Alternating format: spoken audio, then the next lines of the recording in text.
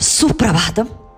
5 मई 1908 को अलीपुर के जेल में प्रवेशित हुआ। क्रांतिकारियों का मस्तिष्क जो था, नौ फीट बाय पाँच फीट के कक्ष में मुझे एकदम अलग रखा गया। भगवती का स्मरण कर आर्त भाव से प्रार्थना की, जगन माते, मेरा जीवन क्रम आप ही निर्धारित करो, मेरा बुद्धिभ्रंश दूर करो। आश्चर्य मुझमें आमूलचूल परिवर्तन का अनुभव हुआ। तब तो मन एकदम शांत होकर परम सुख का अनुभव प्रतीत होने लगा। लेले महाराज के द्वारा मार्गदर्शित ध्यान धारणा का अभ्यास आरंभ किया। जेल की दीवारों की ओर जब कभी मैं ताकता तो उन ऊँची दीवारों में मैं बद्ध हूँ, यह प्रतीत ना होता। मेरे आजू बाजू साक्षात वासुदेव श्री कृष्ण खड़े हैं। यह अनुभव मुझे आता। वृक्ष के तले जब मैं गया तो वृक्ष नज़र ना आया। भगवान श्री कृष्ण मुझ पर छाया धर रहे हैं। यही साक्षात्कार हुआ। वासुदेवम सर्वमिति, इसी की अनुभूति हुई। कमरे के बाहर प्रभु स्वयं खड़े हैं और पहरेदार का काम कर रहे हैं, ऐसा प्रतीत हुआ। विश्व रूप दर्शन की अनुभूति हुई, जिस खरदूरे कंबल पर सोना पड़ता निद्रा लेते समय साक्षात भगवान श्री कृष्ण अपने बाहों पसारे हैं, ऐसा अनुभव होता। कारागृह में प्रत्यक्ष योगेश्वर श्री कृष्ण ने हाथों में भगवत गीता रखी। ईश्वरीय शक्ति ने अंतरंग में प्रवेश कर गीता प्रणित साधना के लिए सक्षम बनाया। कारागृह के बंदी गुनहगारों में प्रत्यक्ष वासुदेव विराजित है। यह अनुभव मुझे आता। गीता का मर्म यथार्थ रीति से समझाने के लिए शायद भगवान को कारागृह योग्य लगा होगा। रोज सुबह स्नान के पश्चात एक कोने में घंटों तक मैं शीर्षासन का अभ्यास करता। एक दिन बंगाल के गवर्नर मिस्टर बेकर हमारे वार्ड का निरीक्षण करने हेतु आए। उन्होंने मुझे शीर्षासन करते हुए देखा। आधे घंटे तक वे देखते ही रह गए। प्रतिसाद का अभाव था। वे वहाँ से चल पड़े। एक बार ध्यानावस्था में मेरे मन में विचार आया, क्या शरीरोत्थापन समान सिद्धि सच है?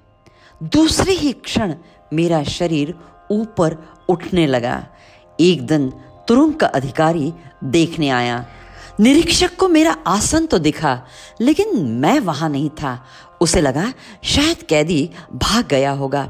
जब वह अंदर आया तो उसने मुझे छत के पास देखा। मैं बिना आधार के था, पूर्णतः ध्यानस्थ। निरीक्षक सोचने लगा ऐसे कैदी पर तो नज़र रखना भी राष्ट्रीय पाप है। दूसरे दिन उसने अपने नौकरी से राजीनामा दे दिया। एक दिन साधना मार्ग में कुछ बाधाएँ निर्माण हुई। एक सुमधुर स्वर ने मेरे शंकाओं का निरसन किया। मैंने पूछा, आप कौन बोल रहे हो? उस स्वर ने प्रत्युत्तर दिया, मैं विवेकानंद बोल रहा हूँ। दर्शन चाहिए? मैंने कहा, नहीं नहीं, आपका मार्गदर्शन ही पर्याप्त है। अतिमानस यह शब्द प्रयोग आत्मिक स्तर पर आरोहण करने का मार्ग स्वामी विवेकानंद जी ने मुझे दिखाया। उच्च स्तर की जागरूकता कार्य पद्धति का आकलन होने तक, एक दो दिन नहीं, लगातार पंद्रह दिन तक समाधिस्थ विवेकानंद जी ने मार्गदर्शन किया।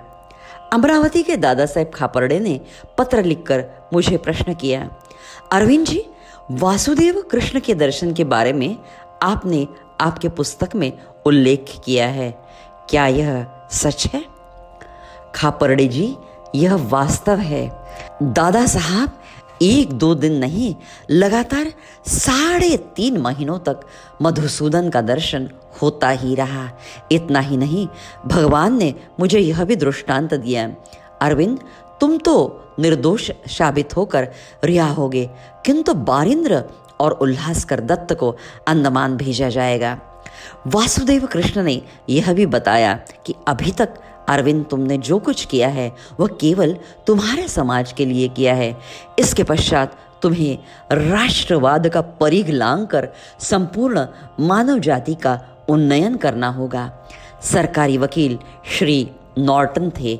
मेरे वकील धैर्यवान एवं संयमी कायदे पंडित बैरिस्टर चित्तरंजन दास। 131 दिन अलीपुर बॉम्ब स्फोट की पैरवी चलते रही। मामला प्रतिदिन प्रकाशित होता रहता। ईश्वर की आज्ञा का पालन करते हुए मैंने कहा, मैं कुछ भी निवेदन नहीं करूँगा। संपूर्ण मामला मेरे वकील देखेंगे। चार हज़ार कागजात, स्फोटक पदार्थ, बॉम्ब, रिवॉल्वर, जहरीले एसिड मिलाकर 300-400 चीज़ों की पेशी की गई। 206 साक्षीदार उपस्थित किए गए। लेकिन अपने प्रखर युक्तिवाद से बैरिस्टर चित्तरंजन दास ने सबकी धज्जियाँ उड़ा दी। मेरे बचावार्थ आठ दिन तक उनका भाषण चलता ही रहा। Your honour Shri Aurobindo Ghosh, bomb फेंके अतिरेकी नहीं, वे तो वेदांती राष्ट्रवादी है। अपने देश बांधवों को स्वराज्य का अर्थ समझाना यह गुनाह नहीं। Aurobindo is a poet of patriotism, prophet of nationalism, and a lover of humanity. देश बंधु ने अपनी प्रैक्टिस दांव पर लगाई अपने अस्वस्थ शरीर का भी ख्याल नहीं किया स्वयं की घोड़ा गाड़ी भी भेज दी पैसा जमा कर दिन रात मेरे रिहाई हेतु उन्होंने कष्ट किए देश बंधु चित्तरंजन दास के सारे श्रम सार्थ हुए। न्यायमूर्ति बीच क्राफ्ट ने 6 मई 1909 को मेरे निकटवर्ती नलिनीकांत गुप्त संवेद अन्य पंद्रह लोगों की अलीपुर बॉम्ब केस में रिहाई की। दुर्भाग्यवश तिलक जी मंडाले के कारावास में बंदिस्त थे। बाहर आने के पश्चात स्वातंत्र संग्राम का नेतृत्व करने हेतु कटिबद्ध हो गया। कर्मयोगिन यह अंग्रेज़ी में और धर्म यह बांग्ला साप्ताहिक प्रारंभ करने का निर्णय लिया। सिस्टर निवेदिता जान गई। कारागृह से बाहर आए अरविंदो घोष राजकीय अरविंद नहीं, बल्कि योगी अरविंद हैं।